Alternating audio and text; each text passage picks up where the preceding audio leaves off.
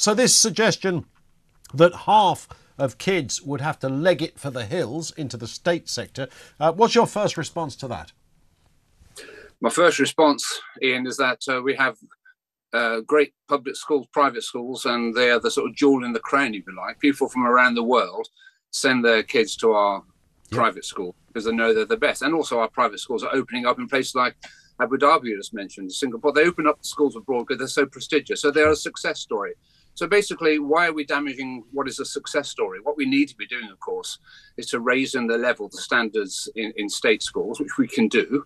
And uh, I think it's false economy anyway, because the government hasn't done its sums quite right. I don't. They're talking about over a billion pounds going to be made uh, by the state sector from taxing or putting VAT on private school fees. But there's going to be a lot of youngsters, maybe uh, uh several hundred thousand youngsters going from the private sector into state schools. So there's going to be more pressure on places in yeah, state schools. So we have got to pay for those. So where there's already a problem, economy. of course. It is, you know, this this policy is a bit like throwing red meat to the sort of left wing fanatics. They want somebody to get their teeth into, and it's a good, yeah. it's it's showy. It pleases certain factions in the Labour Party. Look, I'm not Labour or Tory. I'm not none of those things. I went to a secondary modern school for a while myself. I didn't go to private school, but I ended up as a head in a private school.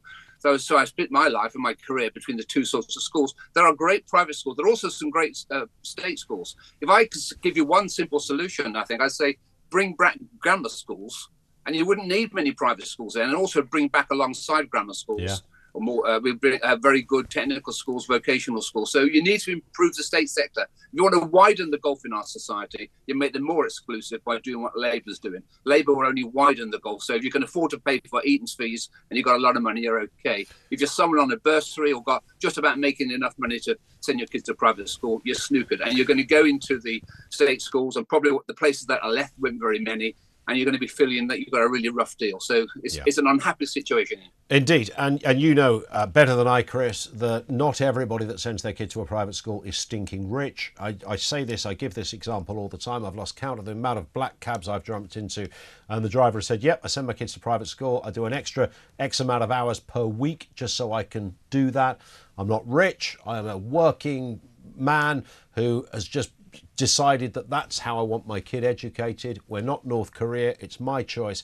Somebody like that would never be defined as being part of the super rich or the elite, and yet they're the very people that will also be penalised. Absolutely right. A lot of a lot of uh, people from poorer backgrounds are on bursaries. They get True. they get part of their fees paid. That's going to go. Um, and there was also we've got a problem here, Ingle, where the Labour Party are going to find its leaders from. You know, we've got leaders which are from private schools. They've got the, they, they send their own kids to private schools. You know, we've we've had That's Tony true. Blair's a classic example. A lot of these, lot of, and, and even Keir Starmer was in a, a very selective school, private school, which went or he went private in his time there. Yeah. Uh, you go back over history, a lot of these Labour politicians send their own kids to private school or were educated in private schools. Where are we going to get our Olympic team from? Where are we going to get our cricket team from? Because it's those private schools which do such an excellent job. We've got to improve state schools. And we're doing that a little bit, actually. They are getting a bit better. We've got to improve them and not worry about parents who pay twice. They pay their taxes and then they pay fees. And mm. as you say, a lot of people without a lot of money, they forego holidays, they sacrifice to, to think they're going to get the best of their kids. I mean, there and is. The, I was just going to say, Chris, there is an argument, and a few people have made it. That there are some examples of this around the world that actually the state should be subsidising private schools. The very opposite to this, because of course they are doing the government a favour in many respects by ta- there's thousands of kids that are not utilising the services of the state. Uh, that eases up an already pressurised system. So a subsidy would make more uh, sort of intelligent sense than a tax. Yeah, and that's serious policy because we can have what's called a voucher. Has been tried in one or two places. You give a parent a voucher, which has a certain amount of money attached to it. They can use it in the private sector, or they can they can use it in the state sector. We need more private schools, not fewer. What we need most of all, though, are good schools and good, well-paid teachers. That's the, that's the answer to it all. And and we can improve our education system. We look around the world and we find very good systems of education which started from a low base. Singapore, top of the world, but 50, 60 years ago, when it was a British colony.